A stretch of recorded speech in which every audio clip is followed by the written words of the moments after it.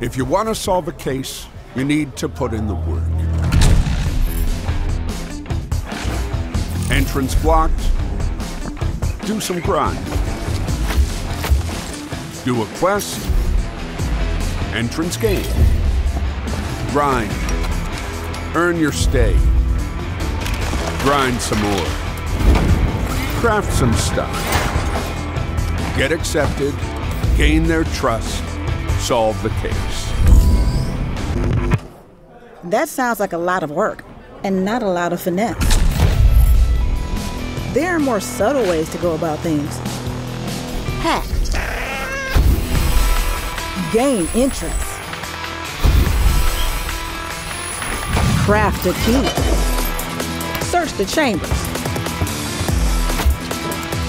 Find dirt on subject. Blackmail subject. Case solved. You both call that detective work? This is how I would do it. First,